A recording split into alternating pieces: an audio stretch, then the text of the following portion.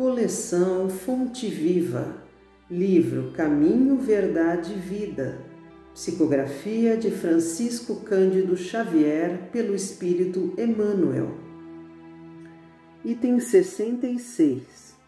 Como pedes? Até agora nada pedistes em meu nome. Pedi e recebereis, para que o vosso gozo se cumpra. Jesus. João capítulo 16, versículo 24. Em muitos recantos encontramos criaturas desencantadas da oração. Não prometeu Jesus a resposta do céu aos que pedissem no seu nome? Muitos corações permanecem desalentados porque a morte lhes roubou um ente amigo, porque desastres imprevistos lhes surgiram na estrada comum.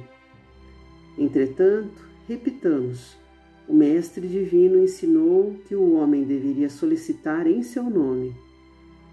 Por isso mesmo, a alma crente, convicta da própria fragilidade, deveria interrogar a consciência sobre o conteúdo de suas rogativas ao Supremo Senhor no mecanismo das manifestações espirituais.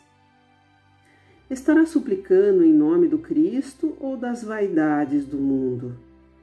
Reclamar, em virtude dos caprichos que obscurecem os caminhos do coração, é atirar ao Divino Sol a poeira das inquietações terrenas. Mas pedir, em nome de Jesus, é aceitar-lhe a vontade sábia e amorosa, é entregar-se-lhe de coração para que nos seja concedido o necessário. Somente nesse ato de compreensão perfeita do seu amor sublime encontraremos o gozo completo, a infinita alegria.